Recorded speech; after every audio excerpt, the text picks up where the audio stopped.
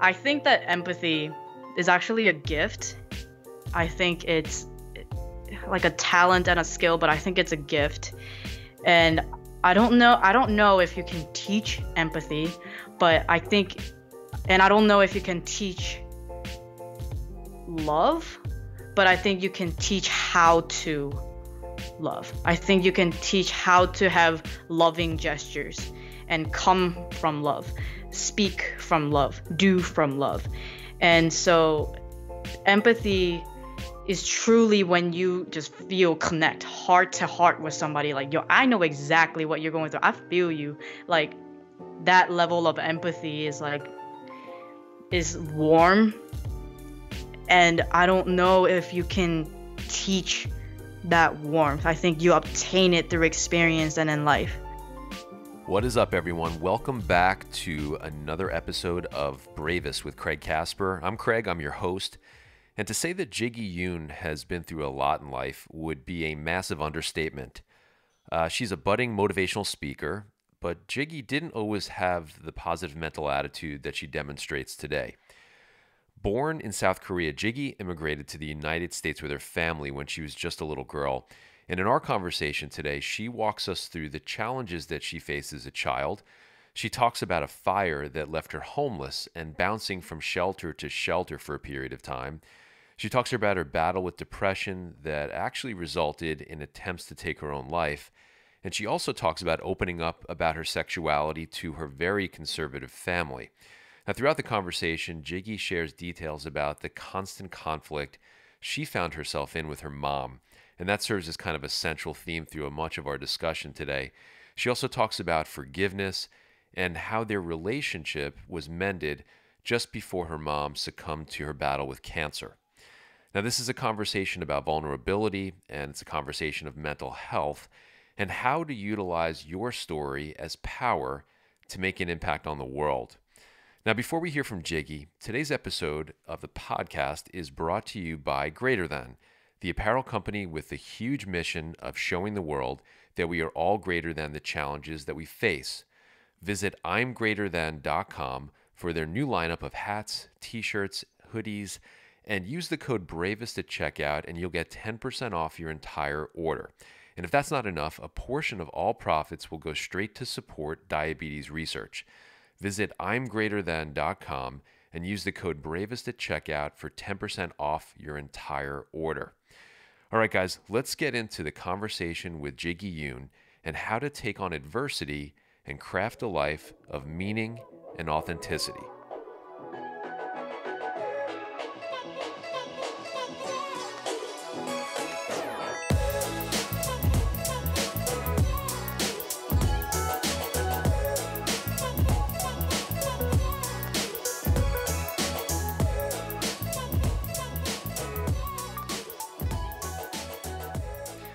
So this is the first episode of 2018, believe it or not, and um, it's actually the second season of the podcast. I started the podcast back in June of 2017, not knowing where this whole thing was going to take me, and we got about uh, it's 26 episodes in. So, as I said, this is the first episode of 2018. I could not think of a more appropriate guest to kickstart a new year off than the one and only Jiggy Yoon. So thank you Aww. for being here. Thank you so much. That was so nice. no, it's my pleasure. I, have been reading a ton about you, and you've got this this amazing, kind of this incredible story that winds through different countries and numerous hardships and kind of the ups and downs of life, and like a lot of stuff that you know would knock people down uh, permanently. And you've got this resiliency that just keeps making you bounce back, and you're smiling, which uh, is su- for me is super inspirational, uh, and and I love the fact that uh, you agreed to have a conversation with me today. So I really appreciate you being here. Yeah, absolutely. Um, it, it's really an honor to be asked to be a part of this podcast. So thank you so much for having me. Oh, my pleasure, my pleasure. So, as I kind of alluded to in your intro there, uh, you were not born in the states. You were born in South Korea, right? Right. And, and um, I'm curious. I always like to ask my guests, and, and this is kind of the theme that goes through the, the first question of kind of what, what was childhood like for my guest. But what I'm really interested to understand is what age you moved from South Korea to the U.S. And do you remember much about that move? And then maybe you could tell me a little bit about kind of your early childhood here in the U.S. Yeah, so I moved to America when I was around uh, 10. So I had just had my 10th birthday, and then I moved to the States. Um, at first, it wasn't really much of a culture shock because I didn't I didn't understand culture. I didn't understand the cultural difference. Um, I think it wasn't until later on, once I matured a little more, um, got a little older, when I started paying attention to the cultural differences. But when I first came, I honestly thought it was a vacation when I was coming to the US. I thought I was only going to live here for maybe six months to a year. No one ever told me that it was a permanent move.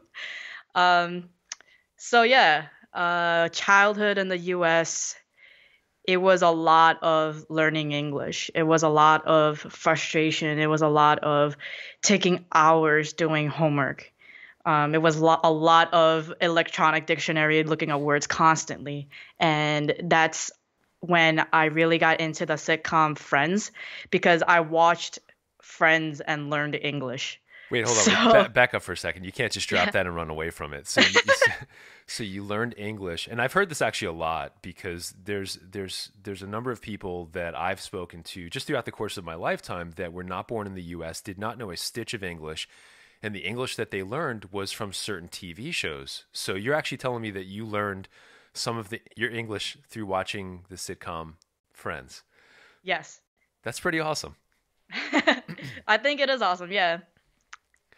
So so so you spent you spent some time kind of just trying to acclimate to a completely new environment, which I have to under, uh, uh imagine. I've never been to South Korea, but from a cultural perspective, it's very different. Now, did you move straight to New York when you moved to the states, or where did you move to in the states?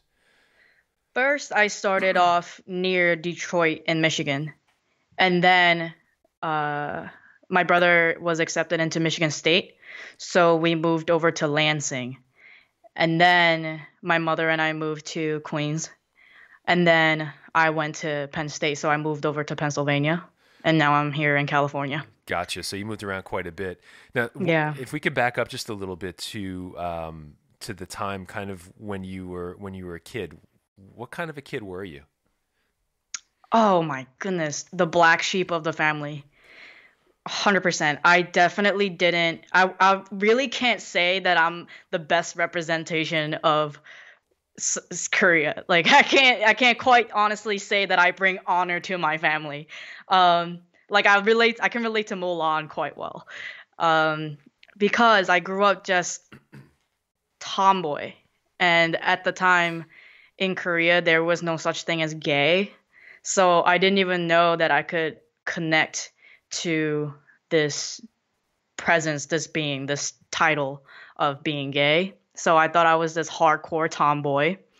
Um, always sort of beat up the bullies and also got bullied a lot because I was also fat. Um, and because I wasn't girly, because I wasn't feminine, um, I got talked to by the the grown-ups a lot about just kind of how I'm not that I'm sh- shameful to the family, but I wasn't like the prettiest in the family. I'm not the favorite that people like to talk about. Um, there was one time when my mom actually thought I was stupid. not not not like stupid as like like name calling. They actually my teacher called my mom to the school and told me that I'm behind on my math math problems or whatever, which is like the typical Asian problem, right? Like you, you your Asian kid is not good at math, so now it's now it's like a huge problem. Um, so they thought I was actually like off a little bit. So I remember having to stay after school for a while, and then they realized that I'm fine after all. It was just a hard subject for me, I guess. Um, but I have to imagine that transitioning from from a completely different country, not knowing the language, a completely different kind of cultural experience which, which you're embedded in, right? Is this before before the states or or, or when you arrived in the states? This was before the states. Before the states. Okay, gotcha. Okay, so how how did that like you're young, you're less that you're you're younger than ten at that point. How does that impact kind of this developing mind of yours where you are starting to feel all of these i don't know um, this kind of negativity, for lack of a better word. How is that impacting you? So the move to the United States actually affected me in so many different ways that I don't know if a lot of people understand that it's it is a possibility. Um, and I actually didn't become more mindful of it until just recently. So I have this tendency of being well i used to have this tendency of comparing my life to other people's and which is a struggle that a lot of people have obviously sure. but but for me it was just so much jealousy of other people other families other kids and that was because when I was growing up in Korea, Korea isn't, I can't say it's the wealthiest country in the world. And so um, everybody is usually around the same um, economic class. So there was nothing, no really comparison at all. But then I come to America and I see kids going to Disney World. I see kids going on family vacations. I see even when my friends would get off the phone with their moms and say, "Oh, I love you," it's like, "Whoa, what? What's that?" Because I never told my parents straight up that I love them at all. Um, and family vacations, again, it was just like, okay, so how come they get to go on vacations, but I barely understand what that even is. Um, so with that just came a lot of jealousy, a lot of negativity. I just went through the phase of hating my parents, um, not being able to provide me with the vacations and all these things that other kids have. Um, so my childhood was hard in that I just didn't know where I fit in. I didn't know where I belonged, where I was supposed to belong, how I was supposed to behave um, I at the end of the day, I understood that it wasn't my parents' fault that we couldn't go on all these extravagant vacations. But at the time, you know, I'm a kid, so it's easier for me to just be jealous and just be so arrogant and just blame my parents for everything. So in that way, um, it was tough for me. It's so amazing because you were just literally thrust into this kind of keeping with keeping up with the Joneses type of an environment where your parents knew nothing from that probably. Um, yeah. So, so we were talking about this a little bit before we started, where I, before I hit record. But you actually live not too far from where I am in New York. You grew up in Queens, as you said, uh, mm-hmm. or you had a portion of your childhood in Queens. Um, mm-hmm. I'm curious to understand because you are type one diabetic. When did that diagnosis happen for you? That was uh, spring semester of my freshman year in college. Oh, so that was a little bit later. Okay, so yeah. maybe, maybe, you could tell me a little bit about kind of the diagnosis story. What what led up to that, um, and, and, how did you um, how did you find out that type one was now a part of your life? Oh, my diagnosis is um, it's definitely a huge part of my entire journey so far, and I've been diagnosed for six years. But the beginning part really, the it just kind of the scar is still not healed. I think so I was diagnosed my freshman year of college, like I said, and um, I was diagnosed by noticing that I was always thirsty, that I woke up multiple times a night to go to the bathroom. My skin would always be dry no matter how much lotion I put on. And my mom was a nurse. So when I went back home for spring break, I told my mom about these things that I was noticing, and she said that when you go back to school, get tested for diabetes and see what happens. So I go get tested, and I was nervous because um, I I I know like I knew diabetes existed, but I couldn't understand what it actually was. But I knew that if I had it, it would be life changing. Um, so I was nervous, and my friend went with me. And so I got the whole test done. And in the doctor's office, they tell me, yeah, it's a sugar problem. So the doctor comes in, he sits down, and he's like, well, yep, it's definitely a sugar problem. And just he continues his sentence. And I was like, wait, hold on, hold on one second. What? So I are you telling me like straight up? Just tell me like, do I I do have diabetes? He was like, oh yeah, you have diabetes. I was like, I started bawling and so um, I was like, I need a second. And I called my mom. And the thing about the relationship between me and my family, it's that, especially my mom, it's that it's always been really toxic. We argue a lot. We just never see eye to eye on things. Um, just like I mentioned before, I wasn't the proudest representation of my family. So we just didn't connect very well. And so when I called my mom to tell her, yeah, I have diabetes, she started yelling at me. She's I thought I think she thought it was type 2, which is funny because she was a nurse. But she starts yelling at me and she's like, Why aren't you taking care of yourself while you're away in college? And she said, um, Why aren't you listening to me taking all these medications that I told you to take?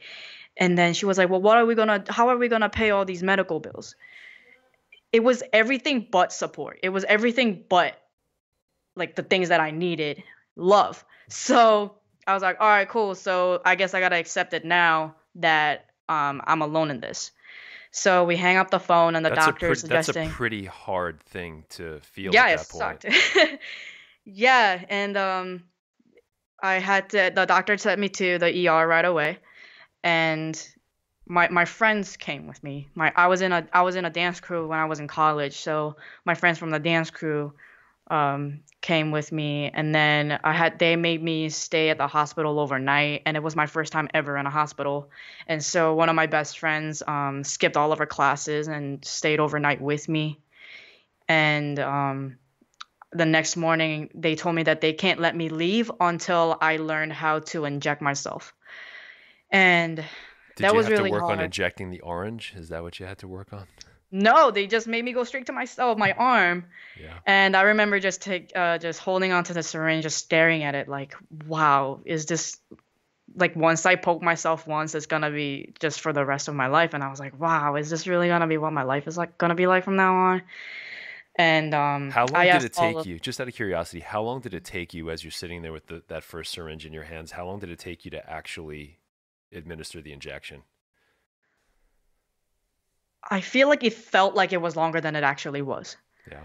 So it probably was like maybe one minute, or maybe it was five minutes, or maybe it was ten minutes. But to me, it felt like forever. Yeah. Um, I just remember when I was in the hospital. They, I was in the hospital for a week, and uh, back then they, they had me practicing on an orange, which makes absolutely no sense because the, cons- the consistency of a skin of an orange has nothing to do with a person's uh, body whatsoever. But I played along. Um, but I remember specific. The, re- the reason why I asked that question is because I remember looking at that syringe for the first time, thinking the exact same that you you were thinking was, this is going to be the rest of my life. And uh, I just I dove in personally. I was like, all right, let's get on with it. Uh, because I wanted to get desperately out of that hospital. I didn't want them to keep me there any longer than I needed to be. Just kind of get on with the next chapter of life. But I remember sitting there looking at that syringe vividly, vividly, and saying, "Wow, this is the rest of my life now." So yeah. Yeah, Oh, I was gonna say, I forgot, but I was gonna say that the reason why my diagnosis came at such a difficult time for me and why the scar still hasn't healed and things like that, it's because my diagnosis came at a time when my life was already, I feel like, was in complete shambles. Um, so that right before that freshman year in college, my senior year of high school, that summer in between high school and college, um, I had to live alone for a little bit because my mom had a job like down south in Atlanta or something like that. And as she was moving in, she had a heart attack. And then she survived the heart attack. So she had to move back to New York. But then a couple of weeks later, uh, we had a fire in the apartment building. So we lost everything to the fire. And I actually became homeless.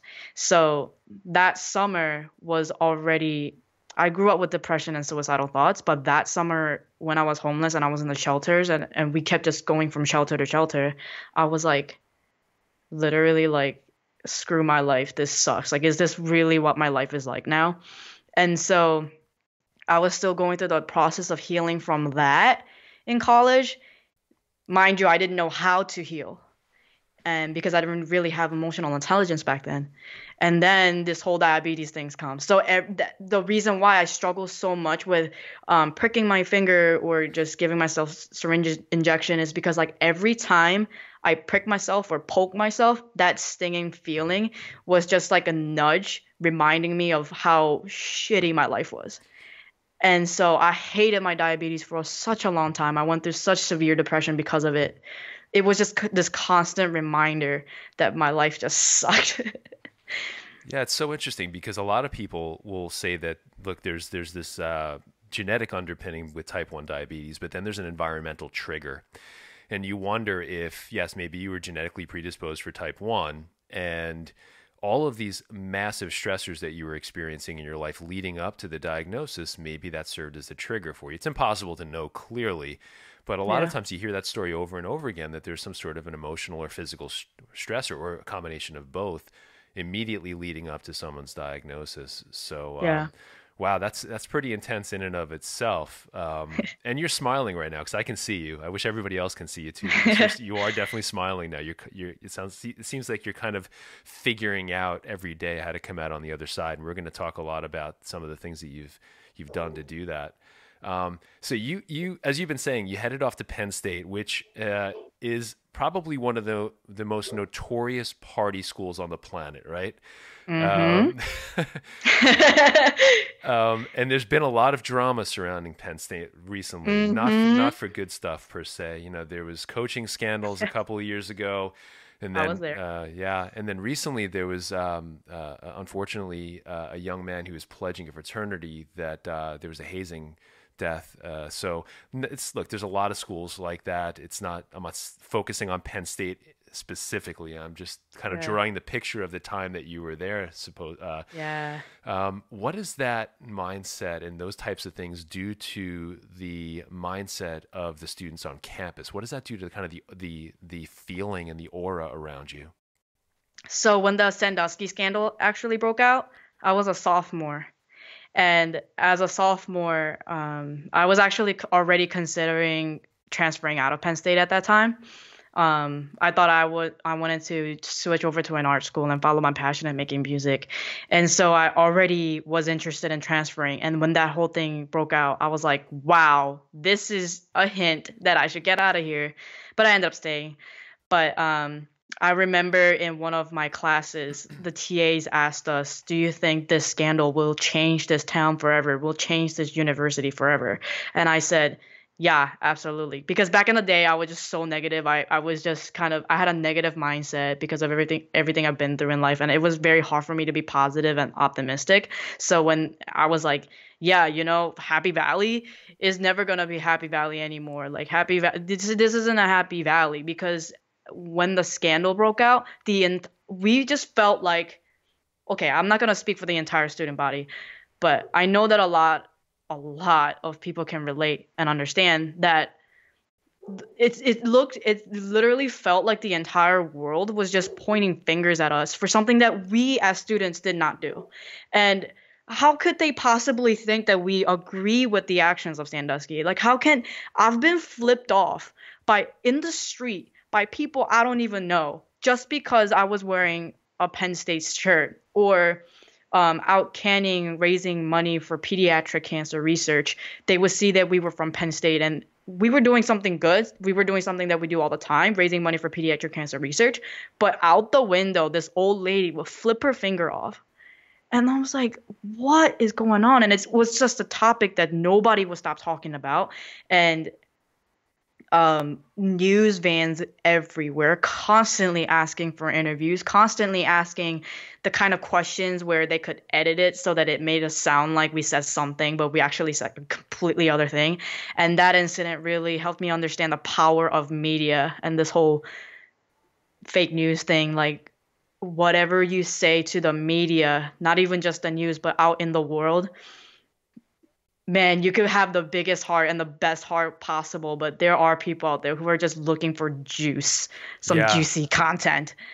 Um, that is the yeah. scariest. That is the scariest part of this. And look, with with the little bit of kind of public exposure that that I've created through the podcast, and it's all it's all done in a positive light. Clearly, I try to be very generous with the people I bring on onto the show. I try to show everybody in their best light the last thing that I want to do is is is have anything negative come out of the podcast. But you're right, it is scary because when you put yourself out there, you don't know how you're going to be perceived. You don't know what somebody's going to say. Not that I really care per se what anybody says, but deep down you kind of do on one level, right? Like, you, if, especially if you're trying to do something good. Um, I, I, have I have friends uh, who have gone to Penn State. I have friends whose kids now go to Penn State. Um, I think that they're they're okay though. I think that the school has definitely turned a corner. So. Um, you know, I, I, haven't been there in years, uh, but it was a yeah. pretty special place from what I understand. I mean, it definitely, uh, it it because it was the place where I was at after I lost my home in Queens. Every dorm room, every apartment that I rented afterwards Hap- Happy Valley, like State College, really did become a home for me, and that's where I stayed for seven years right before I came here to California. And so I appreciate everything Penn State has done for me. Um, the drama that comes with this certainly is not easy, but at the same time, I know that I wouldn't be who I am today and I wouldn't be doing what I'm doing now and have the passion of helping millennials and helping college students if it wasn't for Penn State. Yeah, everything that you experience in life, there's a reason for it, and as, as long as you keep your kind of your mind wide open and your eyes wide open, you're going to figure out how that fits into your mix, into your into your your purpose to a certain extent. Now, yeah, you, absolutely. You, you, mentioned something in, kind of in passing that you were part of a, a hip hop group, uh, dance group. yeah. Did, did hip hop and rap always play a role in your life? Oh yeah.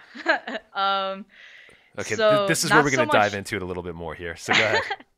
not so much in Korea, uh, but I just remember when I was in Korea, when I was seven or eight, my brother was an exchange student for a year in Utah. So all of a sudden, he comes back with this swag, right? And he starts playing Eminem all the time. So I'm like, okay, who is this guy? And whatever music he was making, whatever he was saying, like I obviously didn't understand it, but because I was exposed to it so much, I started liking this guy Eminem, and um, he's still very my favorite rapper to this day. Uh, but after that, um, I mean, I've always moved around, danced around growing up, even in Korea. But when I came to America, uh, I was always jealous of my brother because he did uh, b-boying, he did breakdancing before me. But because he hurt his back, my parents wouldn't let me do it. So I was like, that's why in college I started dancing. But um, I've always liked writing, and so uh, I think writing and writing songs helped me learn English that much more so after middle school, I just kind of like started writing and writing and writing, and it turns out that I grew this pa- passion for hip hop. So I started writing all these rap songs, and then my first fresh I started uh, recording music on my own and learning how to make music and produce music, edit music, all of that on my own. Um, and then my freshman year of college, when I continued making music, this record label flew me out to Vegas to meet me and whatever, whatever. They offered me a contract. My parents didn't let me do it, which I didn't understand then. But now that I look back, I'm really grateful that I never went through it. Um, but yeah, making music, anything music related. Like I played trumpet for eight years in high school. I was in jazz band. I was in concert band. I was killing it on the trumpet, which is a fun fact about me. Not many people know that I'm like I have this band geek inside of me that comes out once in a while, but not many people expect it. But yeah, and then in college, uh, I joined a hip hop dance crew, and after that. I don't know. I think music's just hip hop in general is always just gonna be in my life no matter what. And I just recently started learning how to DJ. And so music itself I absolutely love. And college got me so busy that I had to step away from making music. But actually I'm going back into making music which I haven't even told. I guess I'm announcing it right now in this podcast in 2018 that I'm going back to making music. So everybody better watch out. But um, that's awesome. Yeah, yeah.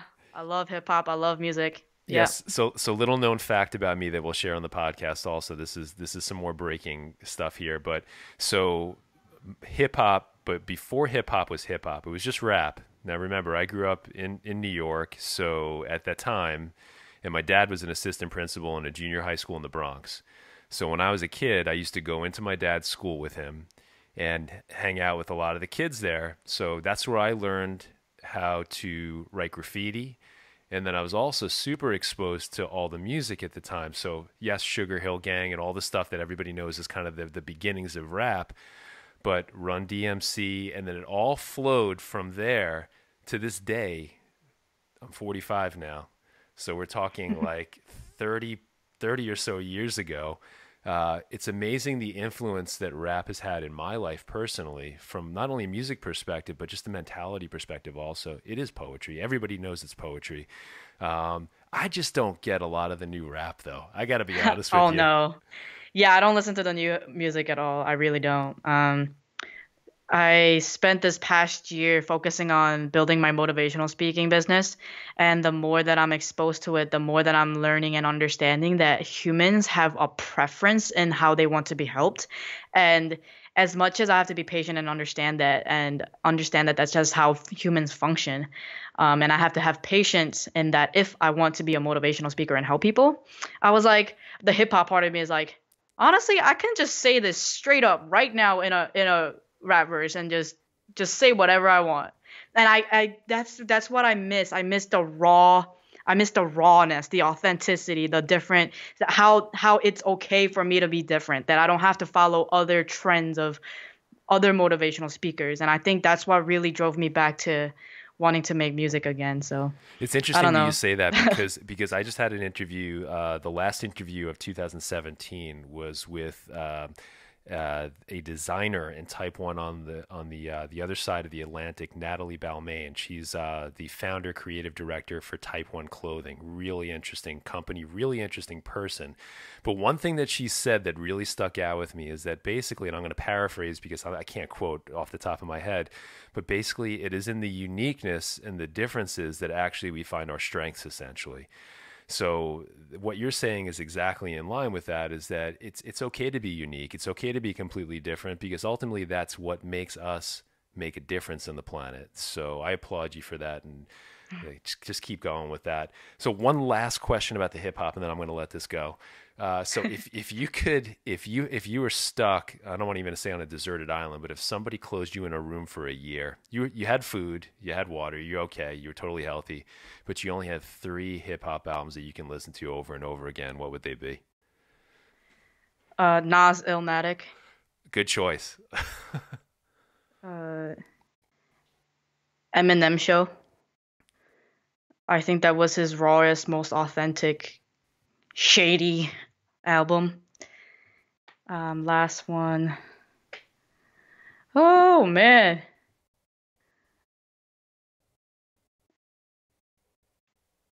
Something that had honestly, um, I actually do love Logic's latest album.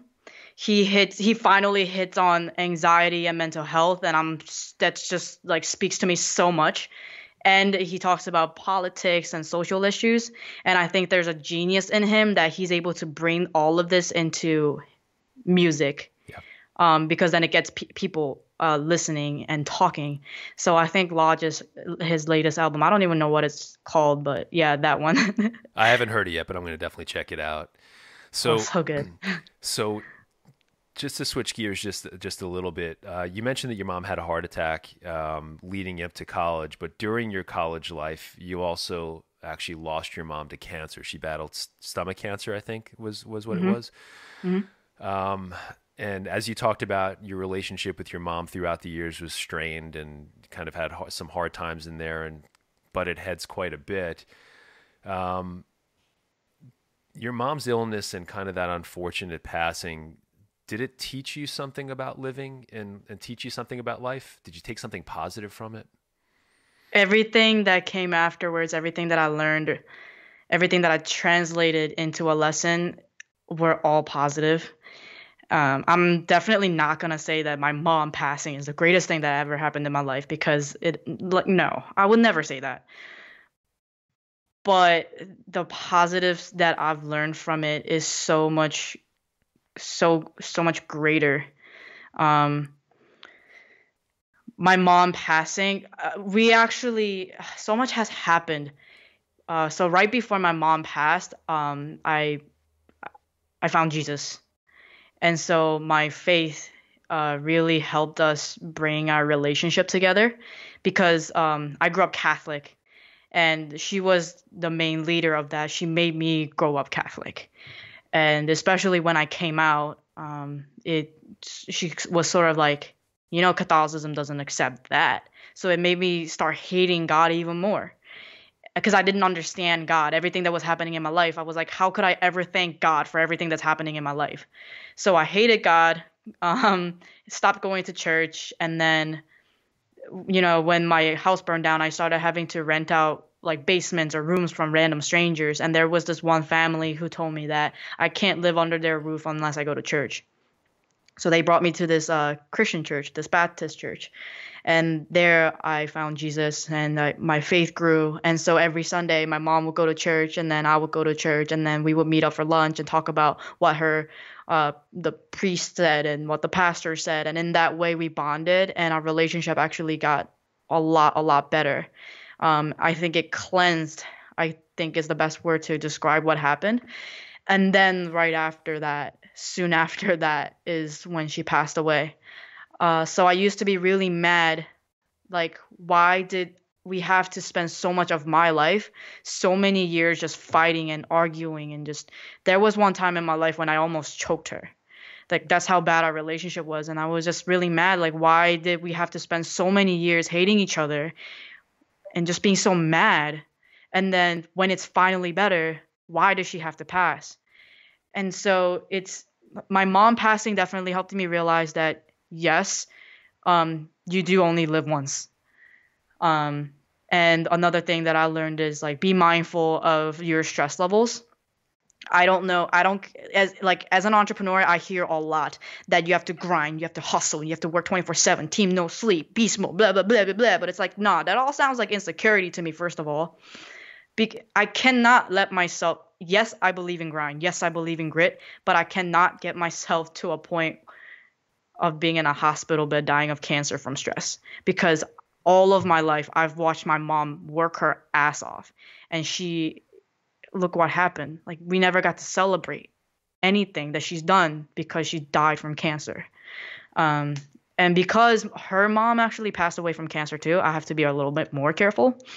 Um, and yeah just after all of that um, because so much of my stress at the time came from the fights with my mom after she passed away i'm i can't lie like i am a little less stressed after her passing. Um but i know that everything great happening from then on was thanks to her hooking it up with god. And everything quote unquote bad that might have happened are all just everything happens for a reason definitely. And i believe that the size of your struggle is the size of your future. So anything that bad that might happen. It can't be the worst thing in the world because i know now that my mom's to hook it up no matter what. Um, so yeah every everything that happens in life is a learning lesson. And especially since my mom passed away um, i can't depend on anybody else. My dad's in korea. My brother's married in michigan. So i was on my own since um, I've learned that it's okay to ask for help. Because I can't cry to mom like, eh, set up this endo appointment for me, get my supplies for me. I've I've dealt with my own health insurance since I was 18 years old. I did it all by myself. I don't have mommy to go call health insurance for me at 7 a.m. Um, so it's helped me to understand the importance of asking for help, but also the strength in me to be able to be independent there's so many things that I learned. Um, so many positives. Yeah, it, it sounds um, to a certain yeah. extent, though, it, it, and I don't want to put words in your mouth, but it sounds like you you sort of made peace with your mom before she passed, though. Um, in terms of your situation with your mom, as best as you could uh, at that time. Um, it also sounds like you became a little bit more empathetic, kind of towards the tail end of of, of her life. Um, is it possible for someone to be taught empathy? Or do you think that you just have to hit a wall or something has to happen in order for you to experience it and understand and internalize it in order for you to actually demonstrate it in the world? I love this question. This is a very special question. I love that you asked it. Oh my God. Okay, I love talking about this stuff. Um, so I think that empathy, anybody listening can disagree, but this is just how I think of things because I was asked a question. Okay, I think that empathy is actually a gift. I think it's like a talent and a skill, but I think it's a gift. And I don't know I don't know if you can teach empathy, but I think and I don't know if you can teach love, but I think you can teach how to love. I think you can teach how to have loving gestures and come from love, speak from love, do from love.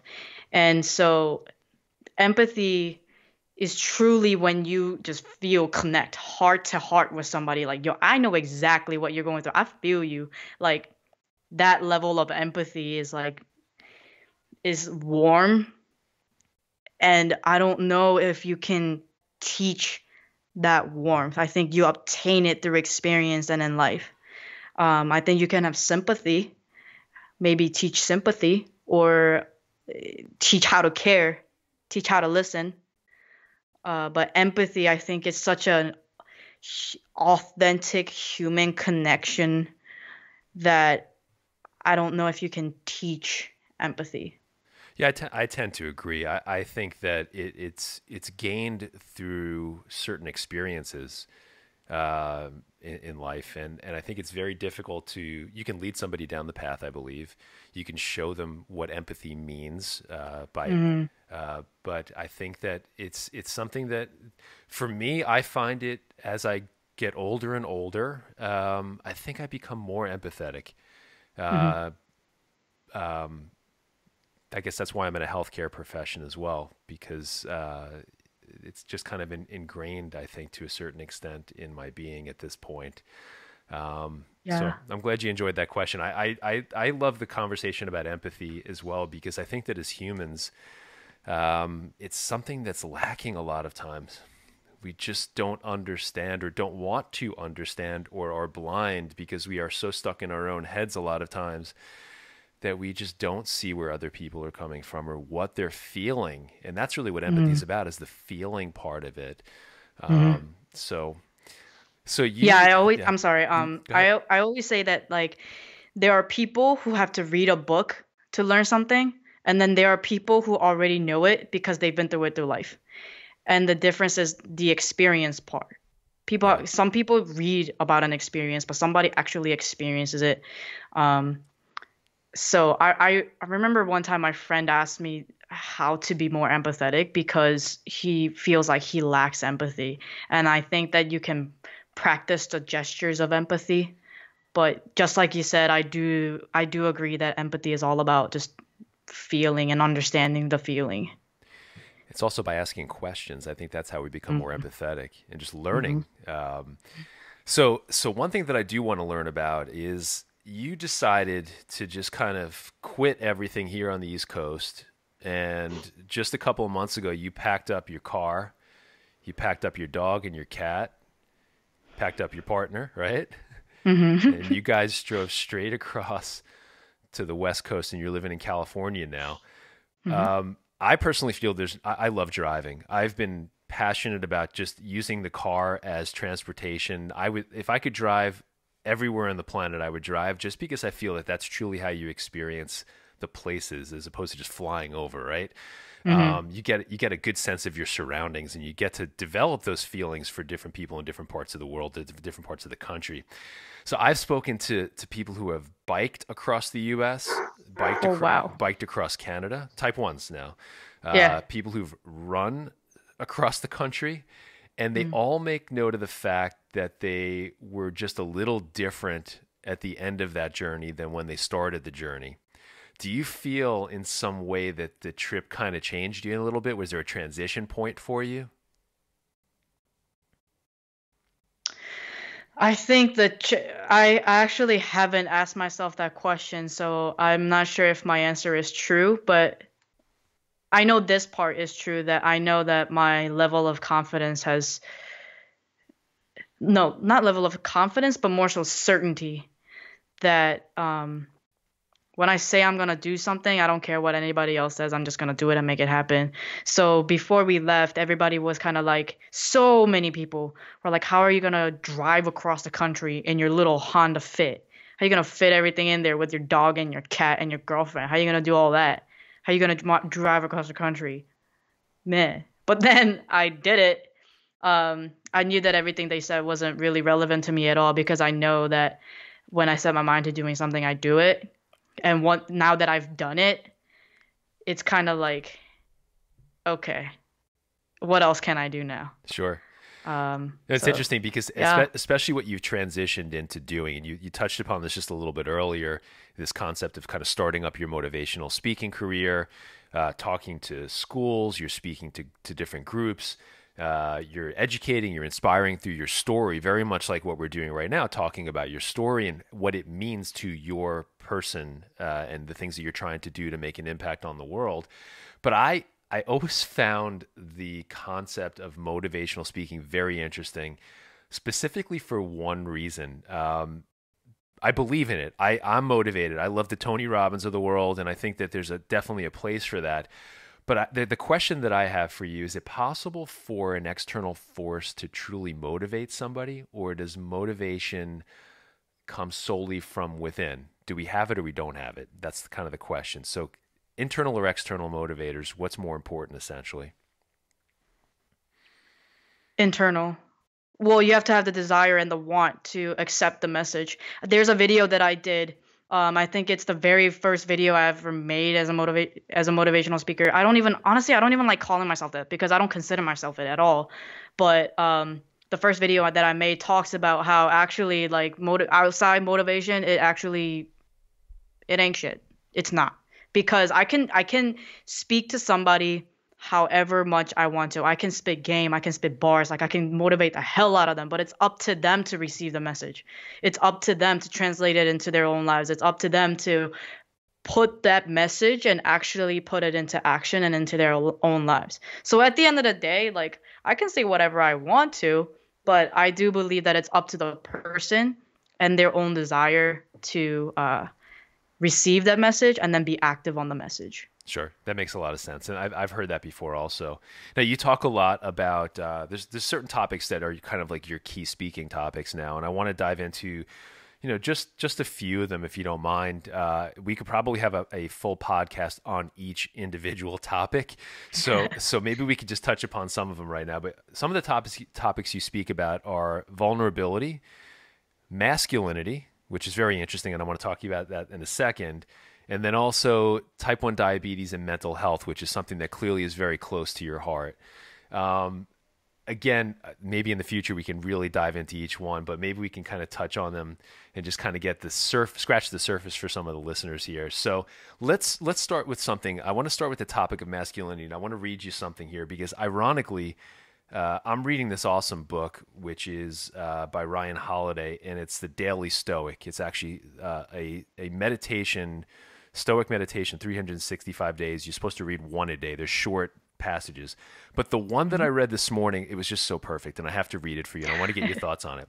So it's called For the Hot Headed Man.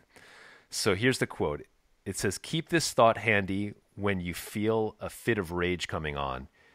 It isn't manly to be enraged. Rather, gentleness and civility are more human and therefore manlier. A real man doesn't give way to anger and discontent and such a person has strength, courage, and endurance. Unlike the angry and complaining, the nearer a man comes to a calm mind, the closer he is to strength. And that's Marcus Aurelius. So, what are your thoughts on that particular quote? How does that relate to the things that you're talking about? So, I will mention a podcast episode by Nee Shobo's sports motivation podcast. He interviewed Elliot Hulse. Do you know who that is? I don't. Elliot Hulse is this gorgeous looking man, and he is tall and I'm les- I'm a lesbian by the way, so none of this actually like matters. But um, he's tall, he's super jacked, very masculine, right? So he's a, he's a big YouTube um, I guess star.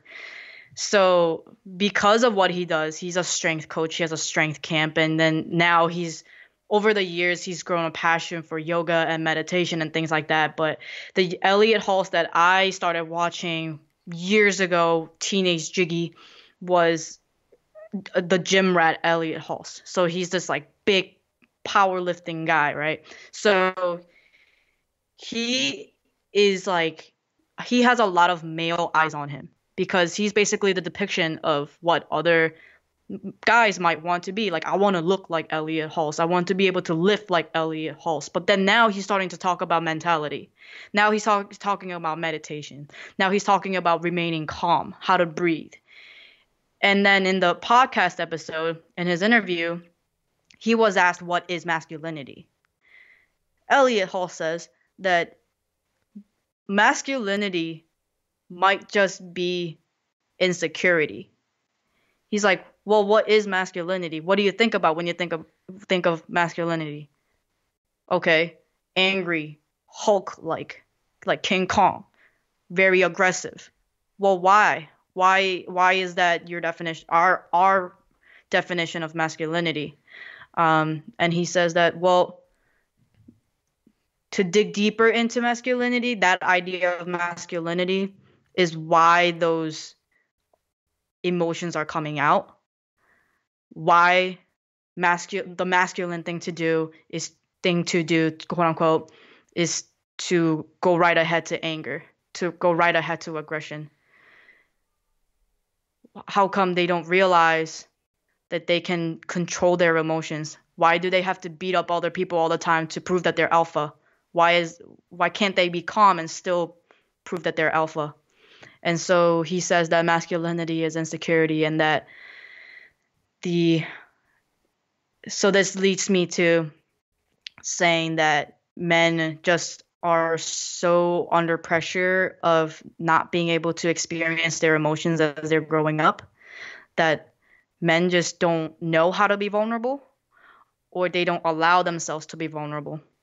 And then that quote also reminds me of another podcast episode with Lewis Howes when he interviewed bodybuilding.com athlete Steve Cook. Steve Cook is also a gorgeous man. He is also the depiction of ideal man and he has a lot of dudes just like watching this guy and trying to be like this guy. And so Lewis Howes this was during the time this was like 2 years ago when he was still working on his book now called Mask of Masculinity he asked Steve Cook, "What is your defini- What is your definition of masculinity?" Steve Cook says that, "Well, let's think about Superman. Is Superman Superman because he beats evil people, or is it because he leads and helps other people?"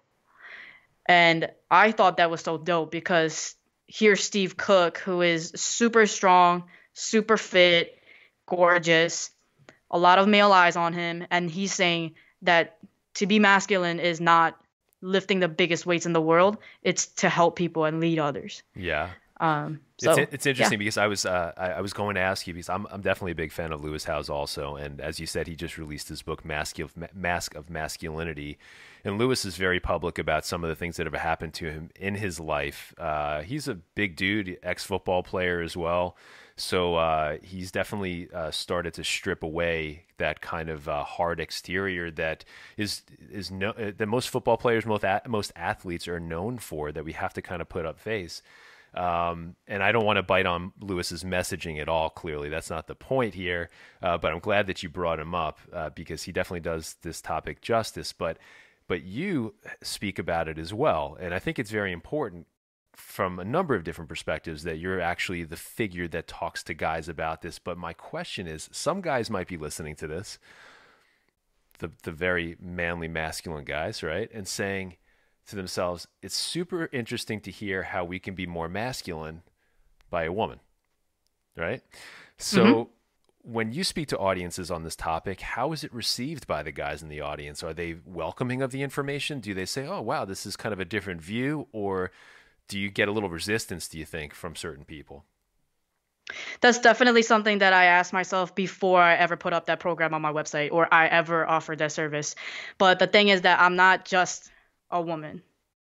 I'm not. Being a lesbian does help. It does. If anybody were to ever question my ability to um, open up a space that makes men men comfortable being vulnerable around me, um, it's definite me being a lesbian definitely does help. And i don't say this to be funny but it's true. And i'm not saying that all lesbians can do this but i know i can because i know the perfect balance between being hard on a man just the way they like it or being soft enough and understanding enough. I'm not saying tough love. I'm saying create a comfortable space for a guy. Um, and if a man ever has any doubt about my abilities, then I don't know. I always say that like I probably know your girlfriend's biggest secrets. Like I probably know what your girlfriend wants. She probably doesn't know how to communicate it to you. as a lesbian, I hear from both sides. I have both male best friends and girl best friends. I can tell your girlfriend to calm down without being get, getting yelled at. I can tell your girlfriend that she's overreacting without getting yelled at. I'm able to do things and say things that other people might not be able to do. Um, so in that way, I understand. Like I understand how guys like to be talked to. I understand how women like to be talked to. I also understand how they don't don't want to be talked to, but at the same time they need to hear it. Sure. And with men, I've noticed that I've seen so many guys cry in in my presence that it it that's why I do that now because I have more male students asking me to if they could speak to me after a service or something. I have more guys asking me to speak to me privately afterwards than uh, women do, and they end up just crying.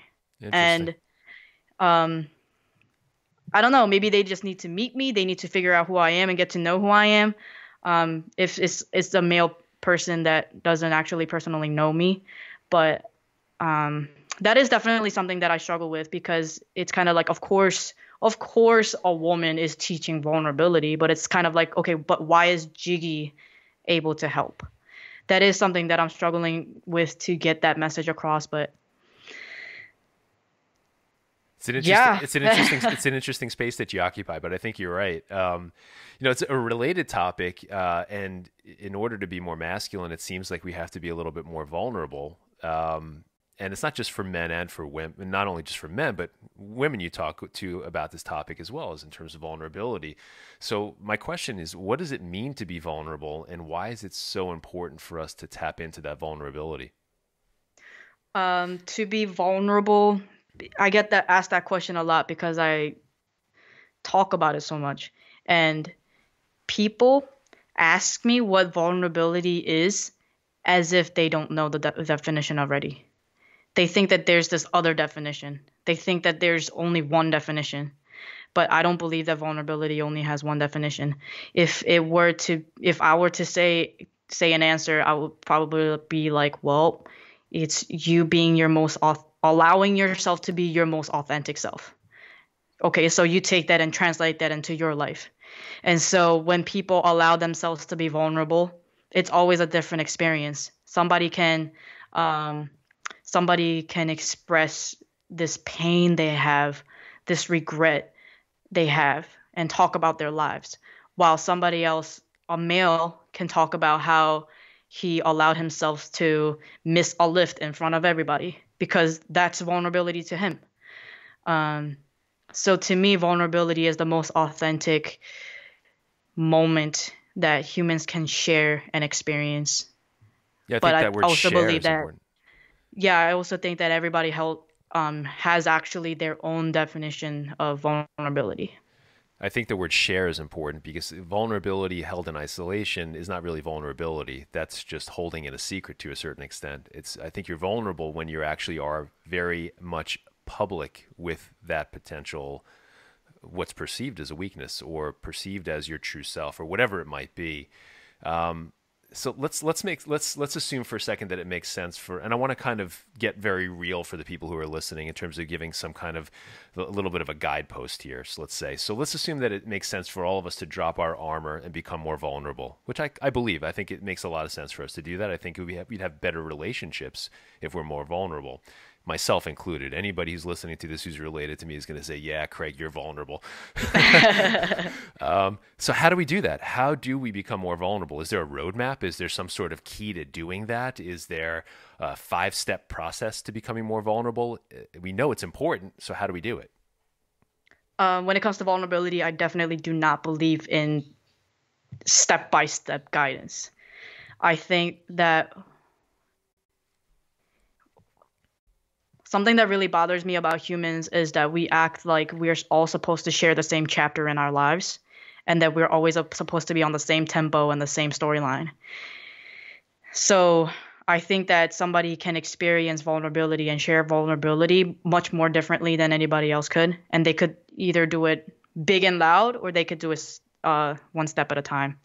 How to be vulnerable is just to just allow yourself to experience your emotions and go with it. And it is just it is just what it is. It's being authentic. It's being real. Um, being emotional.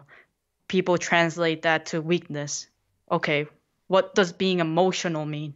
Being emotional means to experience your emotions. It doesn't necessarily mean being sad. It doesn't necessarily mean crying all the time. It's just allowing yourself to be human because our human brains are literally wired by um, like neocortex to process thoughts, to process emotions. So to tell somebody to stop being vulnerable, to stop being emotional, t- is that basically is to tell each other to stop being human. Which is crazy because when people ask me how to be how they can be vulnerable it's like yo you're asking me how to be yourself. You're asking me how to be human. You tell me how you want to f- feel right now. Then do it why are you asking for permission almost it's as if people need permission to feel that how they truly want to feel I think that's the dilemma nowadays. Is everybody is looking for permission to a certain extent. Not everybody. That's a that's clearly a very broad brushstroke. But a lot of people are looking for permission to feel a certain way, um, because it might not be the norm or accepted or whatever it might be. Uh, although yeah. that might be their true selves, and that's where the mm-hmm. where the stress and the dilemma occurs. I think.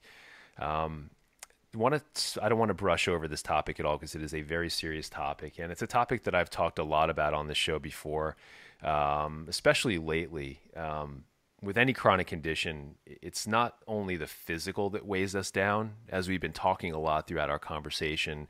It's the emotional that kind of those layers of emotion that that make the condition very difficult at times.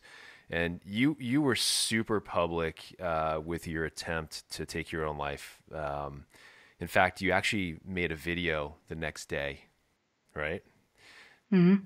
That you actually kind of described what you were going through at that time. Um, maybe you can talk a little bit ab- about what was going on in that period of time, but just to kind of put a bookend on it, um, I, I, want you to really talk to the to the to the on the topic of what what you think we need to do to ensure that we're taking care of ourselves uh, from a mental health perspective and not ignoring that.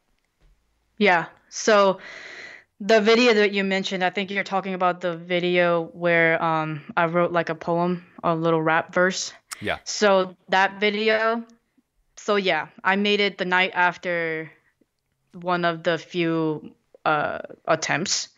And um, it was because I was just burned out as a diabetic and again because of everything that I was going through in my life. And it had been a year since I was diagnosed and things weren't getting easier with diabetes. So I got burned out, and there was this phase when I would just never treat my lows, never treat my highs. I would purposely go high, I would purposely go low. And that was just one of those nights. And I would just go to bed and just see what happens. Um, and it just happened that I just happened to wake up. So I made that rap verse and then I posted it, but I don't think people took it seriously um, my that video, the original one, uh, was my sophomore year in college, and people saw it, but I think they took it as like, oh, it's a poem, so it's not literal. It's a story. It's fictional.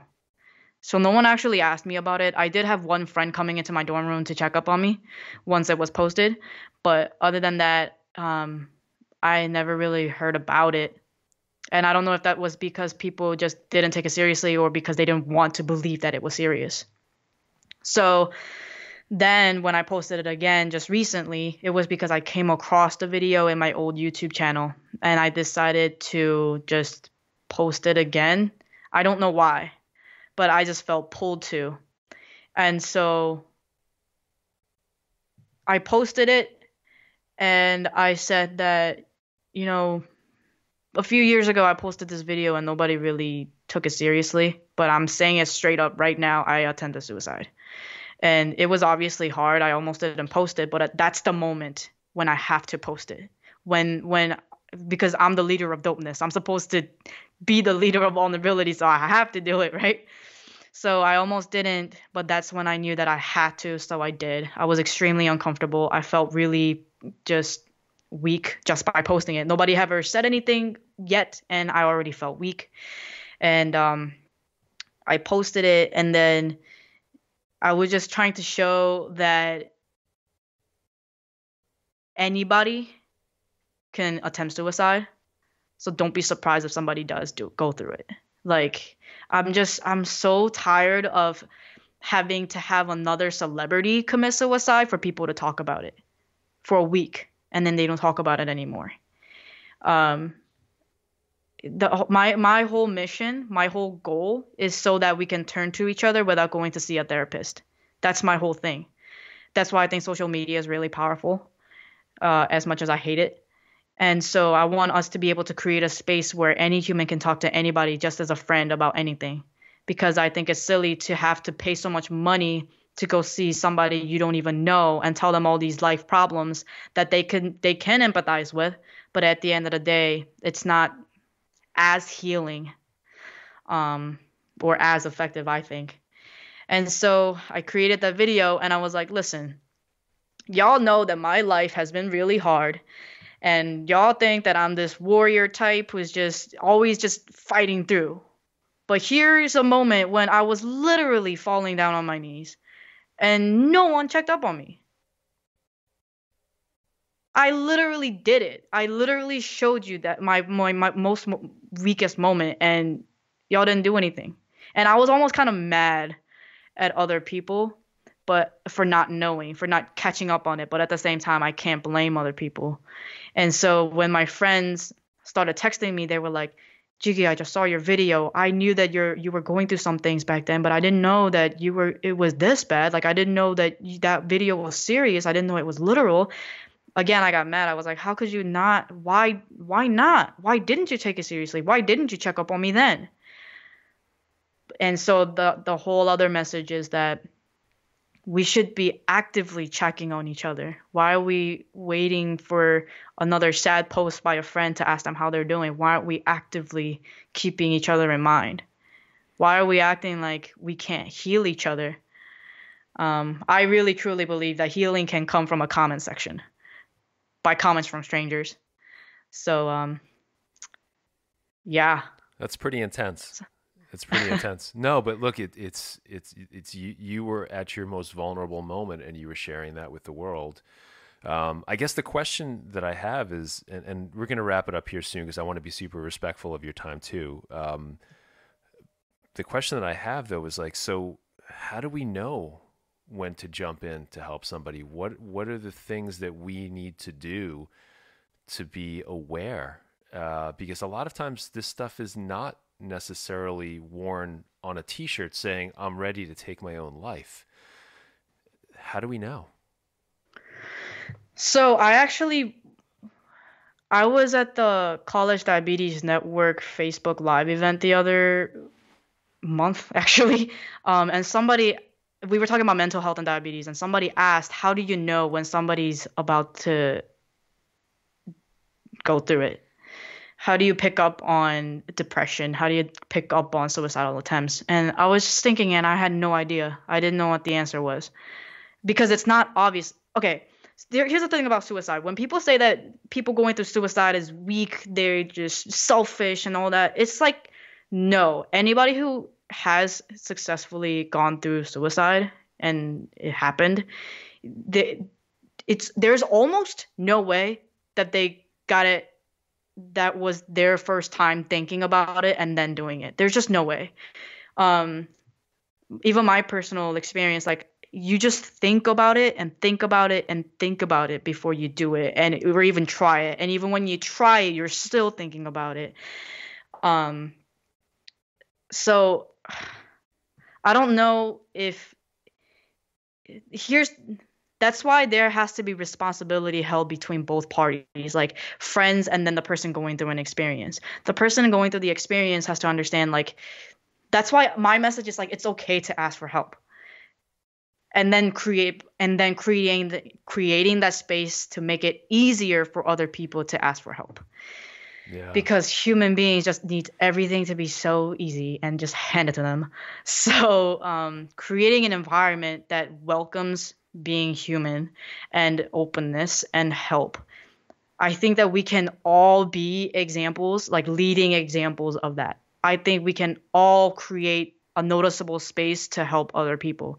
That's why whenever I sell a t-shirt, I give a sticker that says free listening and I write a handwritten note that says I challenge you to create a space that welcomes human um, human authentic connection because it's kind of like when it's kind of like when somebody dies it's like uh, by suicide it's kind of like why didn't they ask for help? It's like they probably did and they probably may have done it in their own way that you didn't pick up or you didn't understand because you thought that there is no way that this person could attempt suicide. It's two-way communication. So i think that our willingness to help and then the courage to accept help i think it does take courage to want to be helped and accept help and to ask for help it's got to be two ways. Um, and to do that, I think that even so announcing it on social media all the time, just being authentic, just being vulnerable allows other people to be authentic and vulnerable. And maybe somebody else sees your post and say, this person could be a really cool person to go to about this problem. Yeah. There are so many answers out there. There's so many ways to help each other out there.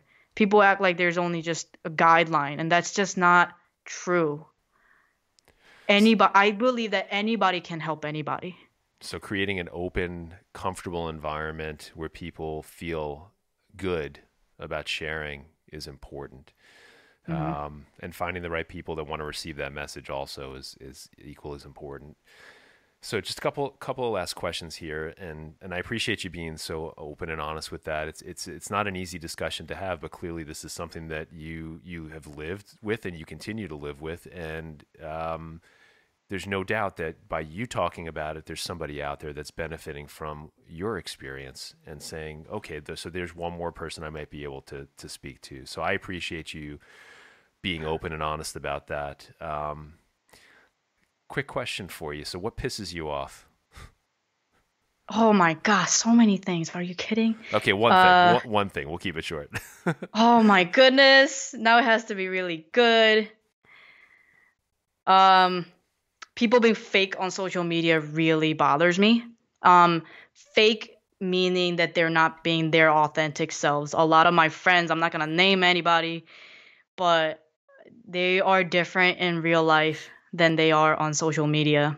The reason why I hate social media so much is because it's as if we all have to put up this front that everybody every, every, people just a lot of people have this fake life called social media like Instagram. Every picture is perfect and everybody's smiling. I'm thankful for this and things like that or like wait, oh my wait, boyfriend saying, got me you're saying that everybody's lives are are not perfect and I thought I was the only one who had, had... Yours is, I don't know, maybe Floyd Mayweather, but I don't know. But um, the thing is that uh, so there's a thing called like social media depression or something like that, where people start comparing themselves to other people on social media, and the thing is that they're comparing their real lives to other people's fake lives, which brings in like myself, like I said way in the beginning, jealousy right? And it's jealous, being jealous of something that isn't real. And so um, you can we can so easily look at other people's uh, perfect relationships and be like, that's relationship goals. How come I don't have that? How come this person is always going out doing something fun, but I'm not? I'm stuck home, blah, blah, blah. How come they're going to family barbecues, but I'm over here fighting with my mom? I mean, these are all questions that I've asked myself, so I'm saying it.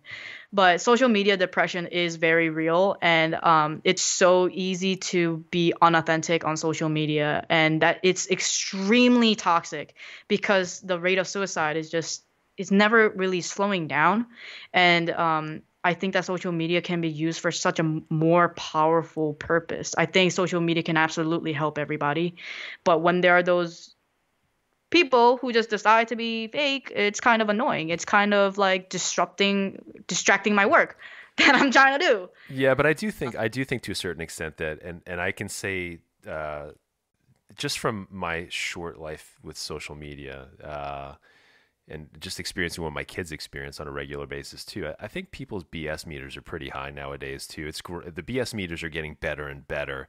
So yeah. so people are realizing, okay, so this is you're telling me that they're not in Mykonos one day and in Los Angeles the next, and like within five. it, it's it's it's okay. We all understand that you know there's there's a certain uh, entertainment value I think to social media now. But you're right. For for certain people, it can be damaging. Um, we've talked about so much. I I, I want to make sure before I let you go, and I have one more question that I that I like to end with, um, that everybody knows where to connect with you online. So, what is the best place for people to find you? Uh, you know, you could keep them away from your social media page because I know that you're always you're always putting up these these crazy deadlifts that nobody can humanly do, right? oh no, no. Um, but no, I think that Instagram really like I Instagram definitely is my favorite platform uh, which is kind of crazy but and ironic. But my Instagram is jiggy underscore yoon, um, and then I guess people can just go to my website if they want. Um, but I think that once they start at, on my Instagram, they'll really get. I share so much on my Instagram. I share all of my stories and my life happenings on social media uh, on Instagram. So I think that's like the best place for people to start. Um, if it's okay with you, I just want to pick on one more thing before we uh, finish here. Um, going back to the whole masculinity thing, the masculinity and vulnerability thing, it's not that to be more masculine, you have to be more val- uh, vulnerable. Um, it's it's not that men lack the ability to be vulnerable. Um, I think that vulnerability is crucial for everyone who who is willing and want to obtain their greatness and live their most blissful, authentic life. And the reason why vulnerability is so important for that, for any entrepreneurs, any CEOs, any startups, any athletes, anybody with a goal, vulnerability is so important because you can never truly be truly honestly 100% at your peak potential be great if you have something holding you back how can an hot how can a hot air balloon truly fly if it still has strings attached to the ground? You know what I'm saying? Like it can never truly fly high if there's something constantly weighing it down. To identify what weighs you down, you have to be vulnerable because in that vulnerability, you experience everything that you have been avoiding all the pain, all the questions, everything since childhood. And once you em- embrace that pain, um, and all those questions and just truly become your most authentic self, that's when I think that you can give your best gift to the universe. Because just like you said in the beginning, how um, you had a guest who said that when somebody is authentic, they are empowered um, just by being individuals.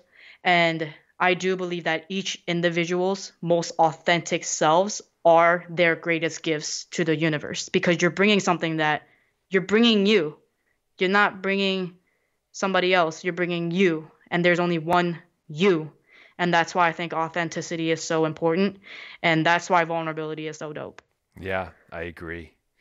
Thank you for that. So here's the last question. Um, no, it's not because after having question, do you have another question? This is the last question.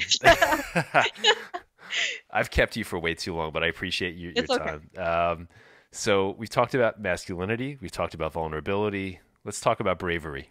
How do we demonstrate bravery every day? And is it important to seek out ways for us to build our brave factor? To be brave, do something that scares you, do something that you're curious about, um, explore all curiosity, ask questions you've never asked before. If you're curious about something and something's really to practice identifying truly why you're scared of trying something new, it turns out that it's not that big of a deal after all. And this fear that we have before ever even trying something new, this fear isn't actually, it's not real. It's an idea, it's a perception, it's a concept that you came up with in your mind that might, that like didn't even happen yet. It might not even ever happen. So to be brave, um, to be a leader, to be a leading example, just do it. awesome. I guess. Jiggy, that was awesome. Thank you so much. I really appreciated your time. Uh, it's been amazing to speak with you, and we're gonna watch as as your your motivational world starts to take off there on the West Coast. Um, and please keep in touch because we're going to do a lot of work together in the future. So I appreciate all your time. I appreciate your insights, and I wish you luck in your in your new life on the West Coast out there. Yeah, thank you so much for everything. Thank you so much for having me. And you offering me this opportunity helps me spread my message even more. And hopefully, anybody listening can allow themselves to be vulnerable and reach their friends and their networks to be vulnerable. And I just want I just want to see a world one day where everybody can just reach out to each other instead of having to see a therapist. So yeah. You'll make it happen. You're the person. I hope so. So yeah. Cool, Jiggy. We'll talk soon, all right? Thank you. Wow, so that was a pretty deep conversation with Jiggy, right? Now, I'm curious to hear your thoughts on this episode, so feel free to head on over to thebravestlife.com and hit the contact link on the homepage to send me a message. And I'll look out for those, and I really appreciate the feedback on this particular episode. I'll also have links to everything that Jiggy and I talked about in this episode on the website at thebravestlife.com forward slash 028. So, one, one final piece of business for this week. If you like the show, and I really do hope that you like the show, please head on over to iTunes and leave a positive review. That's an amazing way to let anyone looking for quality content in the diabetes and the personal development space to find us very easily. So please take just a minute or two right now, head on over to iTunes and share your review of the show on the iTunes platform. So thanks again for joining me again this week. I am Craig, and I will see you next week on Bravest with Craig Kasper. Take care, guys.